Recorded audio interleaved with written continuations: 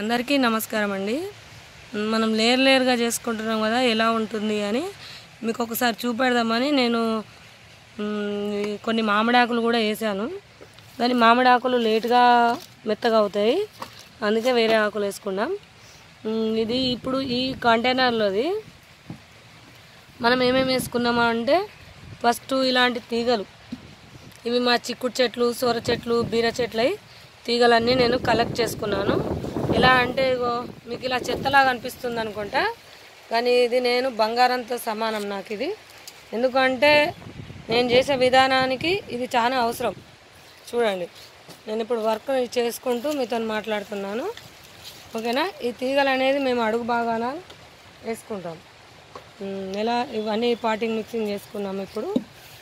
మొన్నటి రకం నా దగ్గర కోకోపీట్ లేదు కనుక మీకు చూపెట్టలేదు.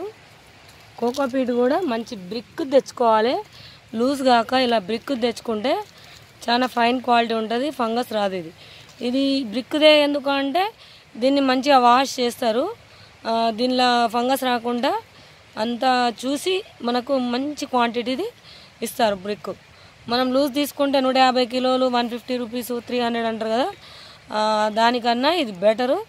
ఎన్నేళ్ళైనా ఖరాబ్ కాదు. నా దగ్గర ఏడేళ్ళ నుంచి ఉన్నది. అయినా ఖరాబ్ కాలేదు ఎంత బాగుంది చూడండి. కానీ ఇది ఫ్రెష్ది ఇది. నిన్న మా హస్బెండ్ హైదరాబాద్కి వెళ్తే తెచ్చాడు.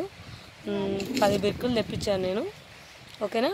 ఇప్పుడు ఇది నేను మళ్ళీ మా పాటింగ్ మిక్సీలో నాకు వెయిట్ ఎక్కువైంది కోకోపీట్ లేక. అందుకని మళ్ళీ రీపాటింగ్ చేద్దామని చేస్తుంటే మీకు ఒకటి చూపెడతాను ఇక.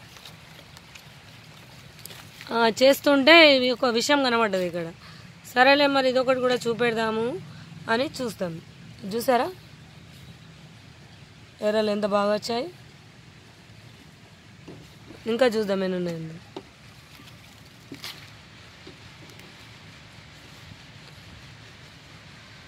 చూసారా?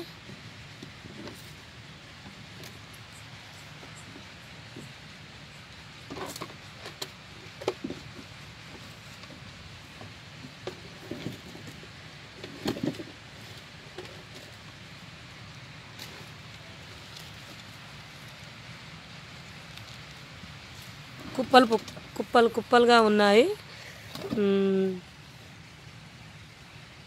ఇగో ఇంకా ఉన్నాయి ఇందులో. తెరుచుకోలేదు ఇలాగే వేద్దాం. అయితే మీ అందరికి కూడా ఇది ఎలా ఎర్రలు వస్తాయి ఏందన్నది చూపెడుతున్నాను. కానీ మామిడాకు స్లోగా ఇదవుతుంది అందుకే మామిడాకు కాకుండా విడిగా ఏదైనా చూడండి. నేను ఫస్ట్ టైమే మామిడాకు వేసాను. నేను ఎక్కువ సాటిస్ఫాక్షన్ కాలేదు దీంతో ఓకేనా? ఇప్పుడు ఇంకా ఎర్రలు చూద్దాం ఇందులో ఇంకా. ఓ. చూస్తున్నారా? ఎలా ఉన్నాయో? ఓ.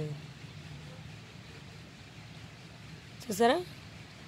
ఒక్క కంటైనర్లోనే ఇన్ని ఎర్రలు ఉంటే మనకు ఎంత మంచిగా అవుతుంది? నేను ఏం బయటికి వెళ్ళి లేను. మాకు ఎక్కడ దొరుకుతాయి కూడా తెలియదు. చూడండి ఎంత చిన్నగా ఉన్నాయి. ఇవి ఇంకొన్ని రోజులైన వాళ్ళు బాగా పెద్దగా అవుతాయి. ఎందుకంటే దీనికి ఫుడ్ అనేది ఇప్పుడు మనం ఇస్తున్నాం వీటికి. నేను వాటర్ తప్పితే ఏం పోయాను? ఏం పోయమని చెప్పను అన్నట్టు ఉంది నా కథ. ఎందుకంటే నాకు ఇందులో అన్నీ దొరుకుతున్నాయి. కానీ తీగవారి చెట్లప్పుడు మనం ఏం తీసుకున్నాం వాటికి? ఫ్రూట్స్ వచ్చినప్పుడు అన్నది ఒకటి చెప్తాను. ఆ టైం వరకు చెప్తాను. ఎందుకంటే ఇప్పుడు అందరూ ఫాలో చేసుకుంటా చూస్తున్నారు కదా మీ అందరికీ ఏ టైంలో ఏది వేయాలో అప్పుడే చెప్తాను. ఓకేనా? ఇదిగోండి. ఈ చెట్లల్లో ఇంకా మొలకలు కూడా వచ్చాయి. అయినా కూడా నేను తీసేసాను ఎందుకంటే నేను కొంచెం లైట్ వెయిట్గానే వాడాలి నాకు ఉద్దేశం. ఇంకో టమాటా మొలకలు పక్కకు పెడదాం. ఇది ఆకుకూర. చూసారా ఎంత బాగా? ఎక్కడన్నా మీకు పురుగు కనబడుతుందా? ఫంగస్ పురుగు ఏ మాత్రం లేకుండా. ఇక వేర్లు చూసారా? ఎంత మంచి వేర్లు వస్తున్నాయో. ఇగో చూడండి. ఇగో ఇది చిక్కుడు. దీని గ్రోత్ ఎలా ఉన్నది చూడండి. కొన్ని వేల సంఖ్యలో చిక్కుళ్ళు ఉన్నాయి మా ఇంట్లో ఇప్పుడైతే చెట్లు. మ్మ్. ఇక చాలా వరకు తీసేయవలసి వస్తుంది. ఎందుకంటే అన్ని చిక్కుడు చెట్లు నేను ఏం చేసుకోవాలి? చూసిరా? మీకు అంతా చూపెడుతున్నా. ఎక్కడన్నా మీకు ఏమన్నా తేడా కనబడుతుందా మట్టిలో? కనబడదు. ఎందుకంటే ఇది మనం చూస్తున్నాం కదా. అయ్యో నా ఫింగర్ వచ్చిందా? చూడలేదు. ఇదండి మన ఎర్రలు మట్టి. ఇక చూడండి ఎంత బాగా కనపడుతుందో కొంచెం నా ఏళ్ళు అడ్డమైంది నేను చూసుకోకుండా మాట్లాడాను. మీకైతే ఎర్రలు కనబడ్డాయి కదా? చూడండి ఎంత బాగా ఉందో.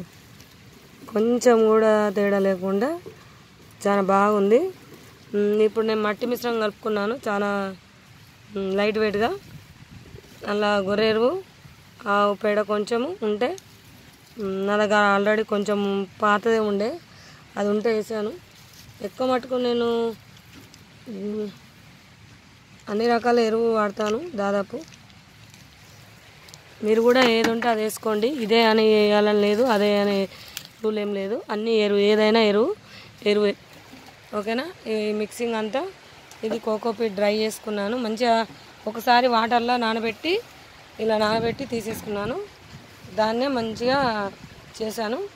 ఇంకొకటి మీకు మొలకలు కూడా ఎలా వచ్చినాయి మళ్ళీ ఒకసారి చూద్దాం. ఇంకా నేను సెట్టింగ్ వేయలేదు. ఇలాగే ఉంది. కొంచెం నీట్గా అయినా మళ్ళీ చూపెడదాం. ఇప్పుడు మాత్రం నేతి బీర చిక్కుడు కాకర. ఇక్కడ కూడా కాకరనే. సొరకాయ కొంచెం లేట్గా వస్తుంది. ఇగో సూర కూడా వచ్చింది. ఇది కూడా సూరనే. ఇగో ఇక్కడ కూడా ఒకటి వేసాను ఇంకా రాలేదు అది. ఇక్కడ ఒక సూర. ఇవన్నీ వచ్చాయండి మొలకలు. స్పీడ్ స్పీడ్గా జర్మినేట్ అవుతున్నాయి. మళ్ళీ చూపెడతాను. ఇవి ఇంకొంచెం పెద్దగా నావాలి ఇక మీరు ఎప్పుడు ఎన్ని రోజులకు కాసిందని అడగద్దు. ఎందుకంటే నీకు కంటిన్యూ వీడియో పెడుతున్నాను. మీరు ఎప్పుడు చూసుకోండి ఫార్వర్డ్ చేసి ఎప్పుడు మొలకేసినాను అనేది కూడా మీకు కూడా తెలియాలి. ఓకేనా? ఇగోండి. ఇదంతా నడుస్తుంది వర్క్ ఇంకా నాది నేనే చేస్తాను. ఇవాళ మా అబ్బాయి చాలా హెల్ప్ చేశాడు నాకు. ఇవి కూలర్ అడుగు భాగాలు ఇందులో ఏం వేసామో చెప్తాను తర్వాత. ఇగో ఇందులో కూడా. ఓకేనా? ఇంకా మీకు ఇంకొకటి చూపెడతాను ఇక్కడ. కొత్త వాళ్ళకి తెలియదు పాత వాళ్ళకి తెలుస్తుంటుంది.